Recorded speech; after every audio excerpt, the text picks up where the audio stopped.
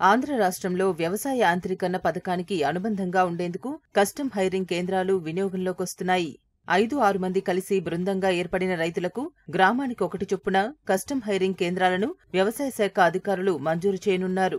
రైతు భరోసా కేంద్రాల ఆధ్వర్యంలో వ్యవసాయ యంత్రాల అద్దె కేంద్రాలు సేవలందించనున్నాయి. పదిహేను లక్షల విలువ చేసే ఒక్కో యూనిట్కు ప్రభుత్వం నలభై శాతం రాయితీగా ఆరు లక్షల రూపాయలు అందజేస్తుంది. యాభై శాతం జిల్లా సహకార బ్యాంకులు రుణాలను మంజూరు చేస్తాయి. మిగిలిన పది శాతాన్ని గ్రూప్ సభ్యులు భరించాల్సి ఉంటుంది. ప్రస్తుతం గుంటూరు జిల్లాలో ఎనిమిది వందల అరవై ఐదు కస్టమ్ హైరింగ్ కేంద్రాలను విడతల వారీగా ప్రారంభిస్తున్నట్లు వ్యవసాయ శాఖ అధికారులు చెబుతున్నారు. గుంటూరు జిల్లాలో ఈ సంవత్సరం ఫామ్ మెకనైజేషన్ సంబంధించి ఎనిమిది వందల అరవై ఐదు కస్టమ్ హైరింగ్ సెంటర్స్ని ఏర్పాటు చేయాలనేది లక్ష్యంగా నిర్ణయించడం జరిగింది. ప్రతి గ్రూప్కి వాళ్ళకి కావాల్సిన ఎక్విప్మెంట్ తీసుకోవడానికి ఎంపైనల్ అయిన కంపెనీస్ ఆ రేటు అవన్నీ ఆ ఫర్మ్ నేమ్స్ అన్నీ కూడా రైతులకు తెలియజేయడం జరిగింది. రైతు ఆ ఎక్విప్మెంట్ తెచ్చుకొని వాళ్ళ వాళ్ళ అవసరాలకు పోను. ఆ గ్రామంలో ఎవరికైతే అవసరం ఉందో వాళ్ళకి నామినల్ రెంట్ తోటి గ్రామస్తులకు అందుబాటులో ఉంచేది కస్టమైరింగ్ సెంటర్ ప్రధాన ఉద్దేశం. ఇప్పటికీ రెండు వందల పద్నాలుగు గ్రూపులు గ్రౌండ్ అయ్యాయండి మన జిల్లాలో. నూట రెండు గ్రూపులకి ఈవెన్ బ్యాంక్ లోన్ కూడా పడిపోయింది సబ్సిడీ కూడా అంటే హండ్రెడ్ పర్సెంట్ అయిపోయింది. మిగతా గ్రూపులు కూడా ఫేజ్డ్ మేనర్లో అప్ టు మార్చ్ లోపల మనం కంప్లీట్ చేస్తాం. అలాగే వాళ్ళకి అనుకున్నట్లుగా పదిహేను లక్షల విలువ కలిగిన ఎక్విప్మెంట్ అంటే అన్ని రైతు భరోసా కేంద్రాల్లో. వాళ్ళ అవసరాల మేరకు ఆ గ్రామంలోనే వాళ్ళకి కావాల్సిన ఎక్విప్మెంట్ నామినల్ రెంట్కి అందుబాటులో ఉంచడం ప్రధాన ఉద్దేశం. పశ్చిమ గోదావరి జిల్లాలోనూ మొదటి విడత అద్దె యంత్రాల కేంద్రాల ఏర్పాటుకు సన్నాహాలు చేపట్టారు. ప్రతి రైతు భరోసా కేంద్రానికి ఒక కేంద్రాన్ని ఏర్పాటు చేయనున్నారు.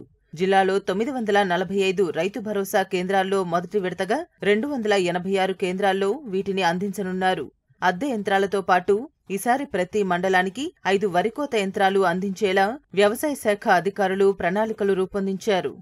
పశ్చిమ గోదావరి జిల్లాలో సుమారుగా తొమ్మిది వందల నలభై ఎనిమిది రైతు భరోసా కేంద్రాలు ఉన్నాయి. ప్రతి కేంద్రంలో కూడా ఒక కస్టమైరింగ్ సెంటర్ ఏర్పాటు చేయాలని ప్రభుత్వం యొక్క ముఖ్య ఉద్దేశం. మొదటి విడతగా రెండు వందల ఎనభై ఆరు.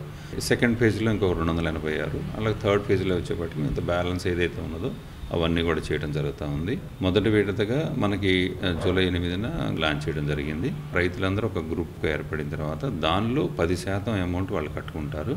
ఒక యాభై శాతం వరకు బ్యాంకులను కూడా ఇప్పించడం జరుగుతుంది.